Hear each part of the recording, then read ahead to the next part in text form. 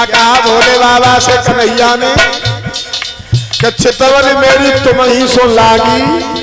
पिया। कन्हैया ने भोले बाबा को पिया कहा है? और पिया शब्द संस्कृत की पी धातु से लिया गया है, जिसका मतलब होता है पान करना, अपने में मेहनत करना, अपने में आकर्षित करना। है?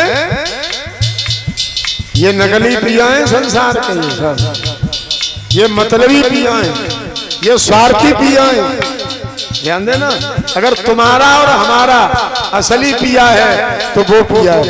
क्योंकि कबीर दासी ने गाया है कि तू चलिए सुरत बातों से तो अमर पिया।